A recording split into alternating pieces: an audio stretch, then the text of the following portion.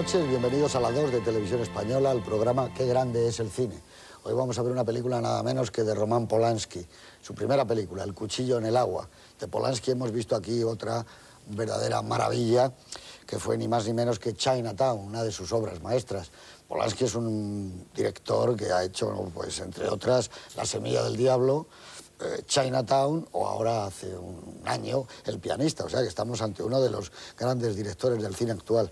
Directores y también para mucha gente un genio uh, del siglo XX, un playboy internacional, una víctima trágica de la sociedad de su tiempo. Hay muchos Polanskis. Lo que sí es verdad es que desde que empezó prácticamente ha tenido una personalidad tan arrolladora que incluso se ha puesto a veces por encima de sus películas. El cuchillo en el agua es, como digo, su ópera prima y ya demuestra pues un talento fuera de lo común. Es una película dificilísima de rodar en un barco, prácticamente toda la película. Un barco que está bien para tres personas, pero para meter a un equipo de producción es eh, realmente terrible. Requiere tener las potencias del alma, sobre todo la paciencia puesta continuamente, porque realmente él lo ha contado en su autobiografía que fue terrorífico el rodaje unas complicaciones. Tenías unas nubes y de repente esas nubes se te iban y no podías hacer el contraplano. Estabas listo para hacer el, plano y desde la plataforma donde rodaban el barco se le iba. Claro, ya no tenía el plano medio que, que él quería. Bueno, ha sido tremendo. Polanski, como digo, desde siempre ha sido un chico prodigioso, ya con una documental que él hizo, eh, uno de los primeros documentales eh, que se llamaba Dos hombres y un armario, que es, gana la medalla ya en Bruselas en el año 58, cuando la Expo de Bruselas es la medalla de bronce, pero ya eso nos eh, da la idea de que era el alumno más privilegiado en la escuela de Lot, es un chico que ha vivido en una Polonia ocupada por los nazis, parte biográfica suya está en el, de alguna forma en el pianista, eh, ha vivido en Polonia, como digo, en la escuela de Lot fue el alumno más aventajado, era el favorito de Andrei Munk, ese Andrei Munk que, bueno, nos ha dejado, gracias a Dios, antes de morirse la pasajera. Pero luego va a París, en París eh, contacta con la gente de la Nouvelle Vague. Eh, para él son sus pares, sus iguales, y realmente eh, su época de París es la época prácticamente que coincide con el cuchillo en el agua. Después es una época inglesa, es repulsión, y luego se va a Hollywood. En Hollywood es la semilla del diablo, es una de las películas más taquilleras, incluso hoy, de la historia del cine. Es decir, que Polanski es una personalidad cambiante. Luego no hablemos de la tragedia con la familia Manson, donde muere su mujer, Sharon Tate. Él luego está implicado por violar a una menor, juzgado y condenado. Le ha impedido hasta hoy mismo, hasta hace unos meses, hasta el mes de eh, marzo o abril, no estar sentado, estaba su butaca vacía y no recoger el Oscar al mejor director por el pianista, porque si hubiera entrado en Estados Unidos hubiera sido detenido por la justicia.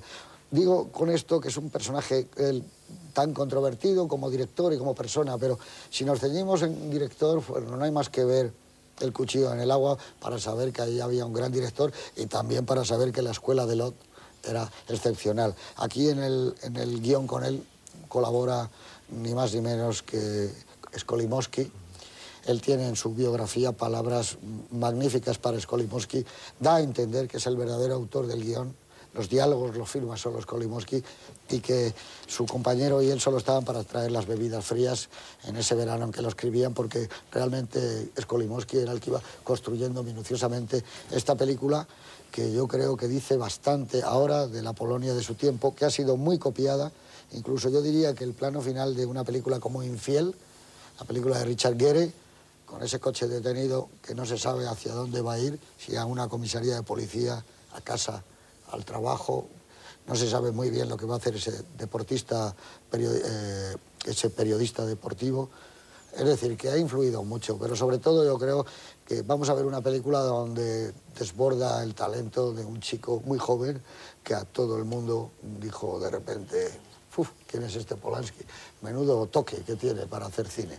Señor Cobo, buenas noches. Buenas noches. Tú pudiste casi coincidir con ese Polanski que vino a San Sebastián, con Eva quiere dormir, él trajo algunos documentales, ¿no? Sí, yo había visto en el Festival de Tours, nada más casarme, como no tenía para viajar, no hubiera aprovechado un festival para salir de España.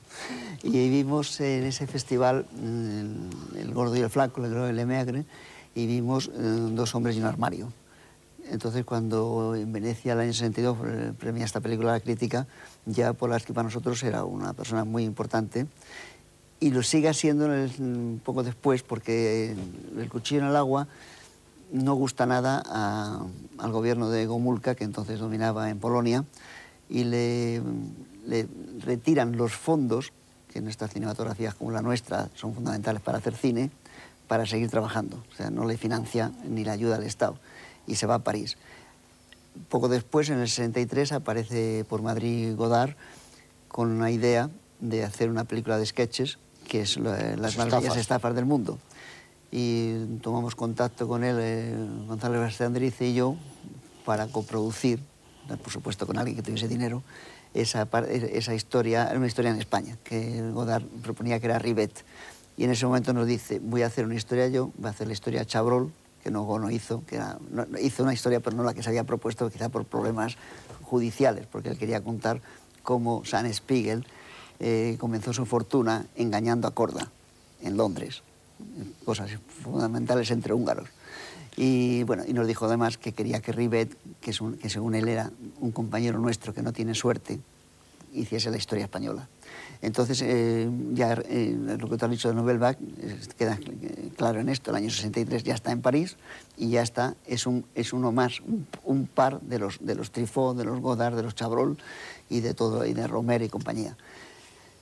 A mí los cortos me maravillaron. Yo hice un, guion español, un guion español que de una película que por fortuna se ve poco, pero sin embargo le tomé a, lo, de lo del armario, yo lo convertí en un piano y en esa película, que era un largometraje musical, conseguí que los, personajes, que eran muchos, con ese eh, piano, hiciesen algunas de las locuras que él hacía con su armario, que era una obra maestra.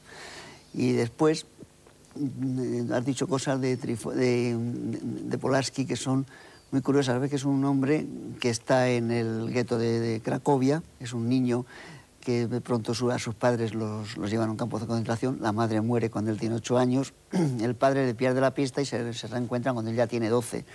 Pero lo más eh, interesante para este tipo de público que nosotros nos dirigimos es que mm, vendiendo periódicos, ganándose la vida como puede, se impone una tarea diaria que le apasiona, que es ver una película. Cada 24 horas él ve una película, porque el cine le, le, le trastorna. Eh, es actor desde muy joven en teatro y en radio, y ha sido mucho tiempo. Y entonces resulta que se presenta a la Academia de Arte Dramático y no le admiten, pero sí le admiten en la Escuela de Lod, de la que él ha contado cosas maravillosas muy recientemente, cuando estuvo en España rodando La muerte y la doncella. Eh, los americanos, por eso que tú has explicado, de que no podía entrar, le vinieron a entrevistar aquí para la revista de los operadores cinematográficos, los cinematógrafos estos, y entonces ahí cuenta cómo era esa escuela.